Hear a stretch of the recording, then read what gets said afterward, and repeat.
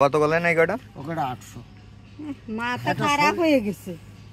একটা সোয়ালির দাম পাঁচশো টাকা কইছে। হ্যাঁ ভালো ভালো এই যে আবার একশো টাকা দেখো। খাতে ইচ্ছে করবে না। এটা হচ্ছে একশো টাকা? হ্যাঁ। আপনারা অনেকে বিশ্বাস করেন না যে অল্প দামে অনেক মাছ পাওয়া যায় এখানে। তো আমি এখন সেই জিনিসটা আপনাদেরকে দেখাবো।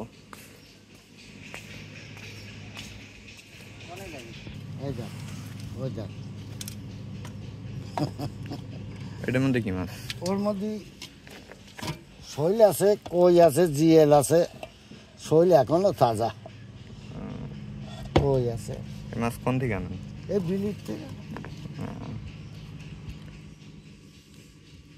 কিরাম দাম কিরাম?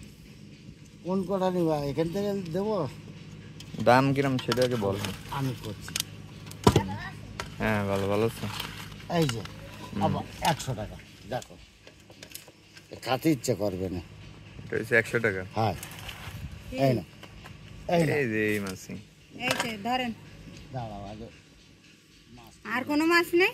আছে বড় মাছ আছে আছে। বড় মাছ আছে শৈল আছে পাকা শৈল বাইন জিএল এই যে। ধরেন আগে ধরেন দশটা কম দিলাম। ও গুঁড়ো মাছ আনেন নিতে হবে না কাজ রয়েছে বহুত। এই জায়গায় মোট কত টাকার মাছ আছে আবার তাহলে এই দেখো তুমি আগে দেখে নাও। আর এই কটা মোট চারশো লেবানি দেখো। এই কটা মোট চারশো। চারশো। মাছ ছিলাম ভালো মাছ ভাই কাজ রয়েছে মেলা মাছ খাওয়ার মতন মাছ। ও তো মাছ বলো কিন্তু কুটে পারব না। আটশো সব সব তাজা মরে। সব তাজা। শোল মাছ এখনও তাজা আছে। খালি শোলটাই ইয়ে এই যেটা এটা মোরা এই যে খালি।